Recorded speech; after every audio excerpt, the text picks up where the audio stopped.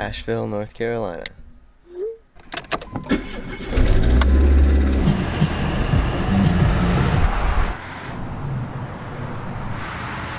If you've been following the videos, then you know I'm moving to Asheville. Came up here today and checked out a house. Probably moving in tomorrow. Yeah, tonight I'm gonna be camping out. Check out these colors. I, they're probably better in real life.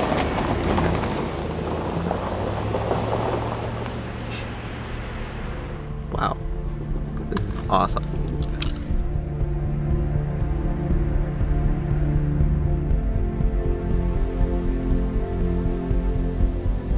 This is the Blue Ridge Parkway. I slept right here, but I had to leave my table out in order to fit in my car. I want to go for a hike today, but everything I own is in my car. And I'm always sketched out about people breaking in. But later today, supposed to meet the landlord at the place I toured yesterday, then hopefully move in this evening. If not, I'll come back up here and camp off the parkway. I mean, look at that view. Pretty sweet.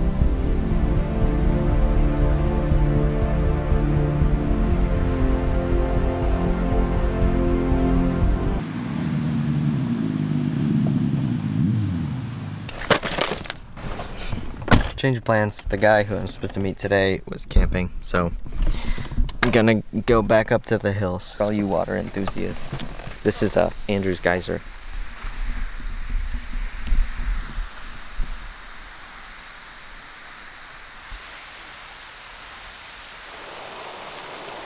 Kind of big. That's one of the cool things about just driving down random roads. Just finding random things like a humongous geyser. It says it was built, but I don't know what that means. guessing though it's a spring that they just made spray up. A review of my new room. We got my desk, my bed, uh, computer parts, coffee, my car,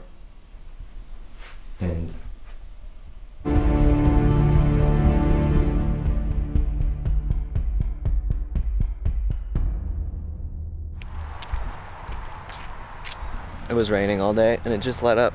So I drove to this thing. I think it's for birds.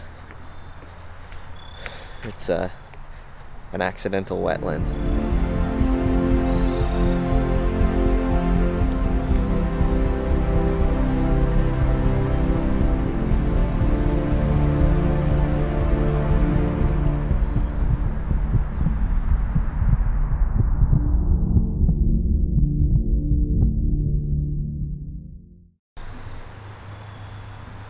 I'm gonna be here for at least two and a half months and then I've got a trip that's out of the country. I don't know if I'll come back to Asheville after that, but if I like it, then yeah. This lens is so zoomed in.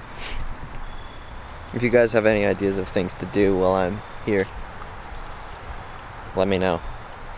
So my car made this super terrible noise and I bought this stuff to fix it, but it actually made it worse. Listen to this. My friend's dad helped me fix it a long time ago. So I know what to do, I just have to do it. It's embarrassing to drive around with that thing squealing. Thankfully it stops after a while.